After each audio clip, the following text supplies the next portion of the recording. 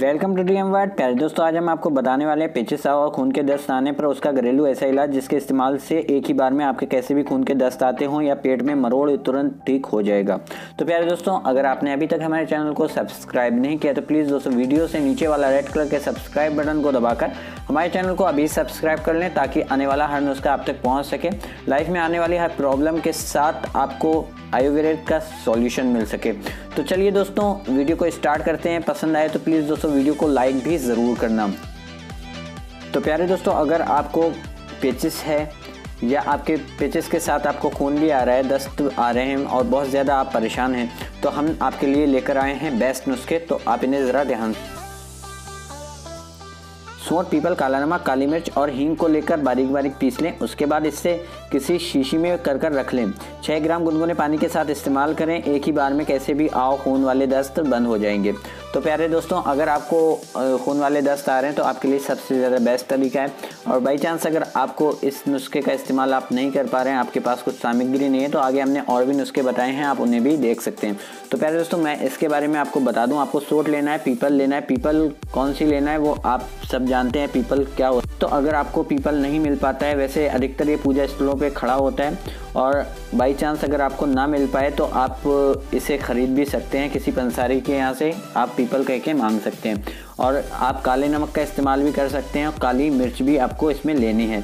दोस्तों, आप खाने वाली हींग ले लें और इन सबको बारीक बारीक पीस लेना है। उसके बाद आप दोस्तों, इसके बाद आपको जो है इसे तैयार करके छः ग्राम आपको गुनगुने पानी से लेना है।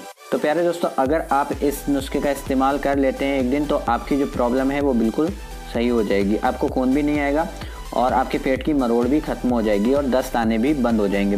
तो प्यारे दोस्तों, अगला नुस्खा हमारा जो है खशखश के बीजों को महीन बारीक पीस कर दही में मिलाकर सुबह शाम खाने से एक ही बार में खून के दस्त, पेचिस मरोड़ से छुटकारा मिल जाता है। दोस्तों, आप खशखश के बीज ले आएँ, कहीं से भी आप खरीद सकते हैं, किसी भी पंसारी की दुकान से भी खरीद सकते हैं और अधिकतर एरिया में किराना स्टोर पर भी मिल जाते हैं। तो आप खशखश के बीज लाने के बाद आपको दही के साथ आपको इसे पहले महीन महीन पीस लेना है आपको, उसके बाद दही में मिलाकर आपको सुबह शाम खाना है।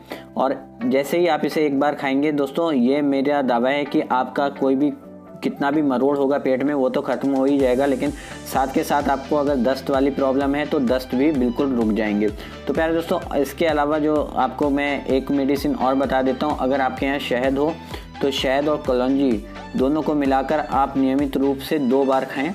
तो आप लगातार इसे तीन दिन तक खाएँ, जिससे आपको कभी भी जल्दी दस्त वाली प्रॉब्लम नहीं होगी और आपका पेट एकदम हेल्थली हो जाएगा।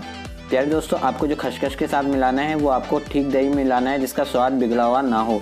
ज़्यादा लंबे टाइम से रखा हुआ दही आपका बेकार हो जाता है, जिसके ज़रिए उसका जो टेस्ट है, वो खट्टा हो जाता है। तो दोस्तों, ऐसे दही का इस्तेमाल ना करें, जितना ताज़ा दही होगा, उतना ज़्यादा आपके लिए लाभकारी रहेगा। तो आप ताज़ा दही ले लें, थोड़ा जिससे वो पूरी तरह खट्टा ना हो। और दोस्तों, घर का दही मिले तो आपके लिए और ज़्यादा फ़ायदेमंद है। और आपको किन चीज़ों का इस्तेमाल नहीं करना है, उन्हें भी ज़रा नोट कर लें। दोस्तों, आपको कोई भी भारी खाना, बासी खाने का इस्तेमाल नहीं करना है। बासी रोटी नहीं खानी है, बासी चावल, कुछ भी पूड़ी, पराठे, आपको तली हुई चीज़ों का इस्तेमाल नहीं करना है, ना ही फास्ट फ़ूड का इस्तेमाल करना है, जब तक कि आपकी ये प्रॉब्लम पूरी तरह ठीक नहीं हो जाती। दोस्तों, पकौड़ी, कचौड़ी और भी समोसे वगैरह का इस्तेमाल आपको नहीं करना है। तो प्यारे दोस्तों, आज की वीडियो आपको कैसी लगी, मुझे कमेंट में ज़रूर बताइएगा। और अगर आप हमारे चैनल पर नए हैं तो चैनल को ज़रूर सब्सक्राइब करें, ताकि आने वाली हर वीडियो आप तक पहुँच सके। Thanks for watching this video